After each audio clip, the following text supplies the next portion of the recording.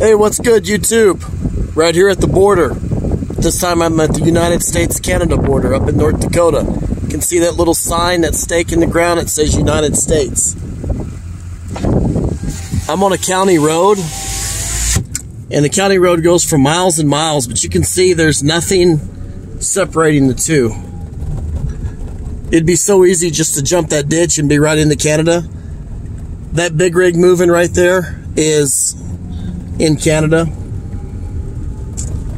So, as I go down this dirt road, we're going to get closer and closer to the blacktop in Canada. Kind of right by the border.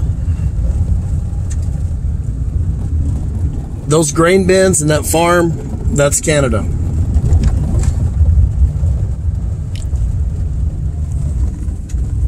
I think that stop sign that I'm coming up on right there. Yeah, that's Canada. That stop sign.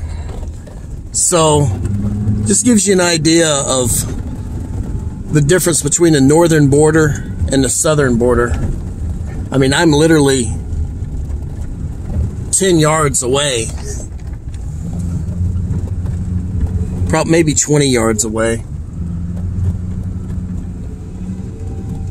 As you can see a sign right here that's going to say says USA traffic keep right. Anyway, just wanted to show you guys what's up. Later on this summer I'm going to jump it, make a live video, but that's going to be for another day.